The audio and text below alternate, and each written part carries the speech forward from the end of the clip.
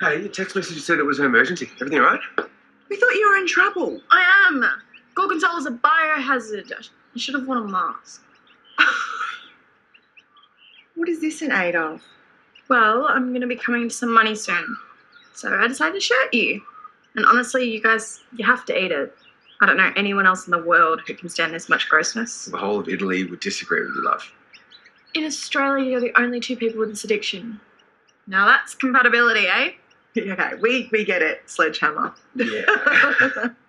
Oh, I also I got a job, but I'll tell you about it later. I've got to go to Byron's.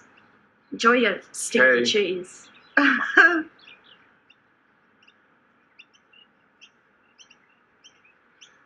Think She's harboring some misplaced guilt.